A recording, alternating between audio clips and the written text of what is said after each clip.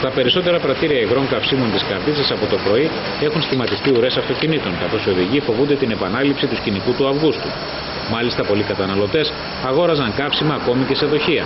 Από χτε το βράδυ σχηματίστηκαν ουρές σε όλα τα πρατήρια του, του νομού. Ε, και σήμερα το πρωί συνεχίζονται ο κόσμος πανικόβλητος να έρχεται να βάζει καύσιμα. Φοβούνται μην έχουμε τα, τα των προηγούμενων ημερών τα γεγονότα.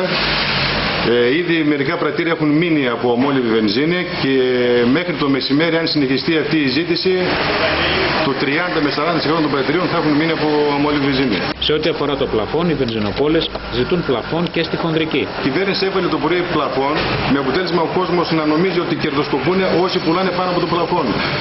Οι αγορές που έκαναν τα πρατήρια μέχρι και χτε, γιατί δουλεύανε όλη την ημέρα τα δηληστήρια χτε, είναι σε μερικές περιπτώσεις η αγορά μας είναι μεγαλύτερη και από το πλαφόν. Δεν νομίζω να είναι σωστό αυτό να έχει βάλει πλαφόν στο, στο πρατήριο και να μην έχει βάλει πλαφόν στην ε, χοντρική. Όλοι έχουν δικαίωμα να διεκδικούν, αλλά να μην προσβάλλουν και όλου εμάς. Και εμείς τις δουλειές μας παρατάμε. Τρέχουμε να βάλουμε καύσιμο όπως όλοι. Αυτά τίποτα άλλο.